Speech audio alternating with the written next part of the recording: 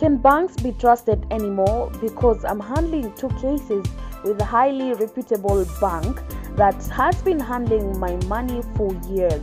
I'm one of those clients who don't even read my bank statements. Stupidity made me think they are professionals until my account was compromised. There is a case pending.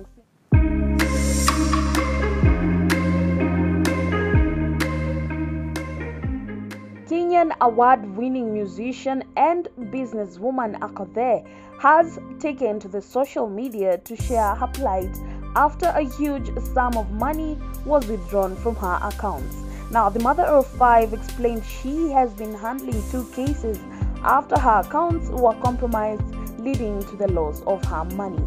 She noted that the case in question dates back to February 2022, with the bank taking her in circles and declining to take responsibility. She also noted the second case, a huge sum of money was withdrawn from her account through the ATM. Akothee promised to storm the bank's headquarters to collect her money in person should an explanation not be provided and the money in question not returned. Can banks be trusted anymore? Because I'm handling two cases with a highly reputable bank that has been handling my money for years. I'm one of those clients who don't even read my bank statements. Stupidity made me think they are professionals until my account was compromised. There is a case pending since February 2022 that they have not been able to sort and have refused to take responsibility. They keep managing me with long stories. They equally know I don't have bank loans.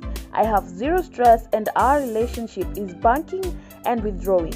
The second case just happened on September September 12th. The huge amount of money left my account through an ATM well, personally, I have never accessed more than 30k from an ATM.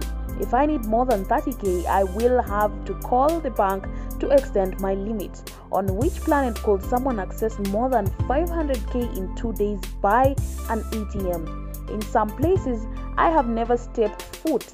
They have been taking me rounds and managing me. If this particular bank doesn't get back to me with a solid answer on how my money left my account and the pending case of my card since 2022. They will feel my presence in their headquarters on Monday.